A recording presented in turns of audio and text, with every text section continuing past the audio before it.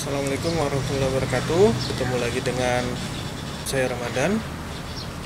Sebagian teman-teman ada mengalami masalah Itu timbulnya rasa malas Apalagi menghadapi dalam bulan puasa. Berikut saya akan membagikan tips untuk menghindari atau menghilangkan rasa malas. Yang pertama adalah Buatlah target yang akan dicapai Target itu bisa dalam jangka pendek, menengah, dan jangka panjang. Dituliskan secara terperinci. Target yang akan dicapai harus bisa dicapai dalam waktu kapan dan bagaimana cara mencapainya.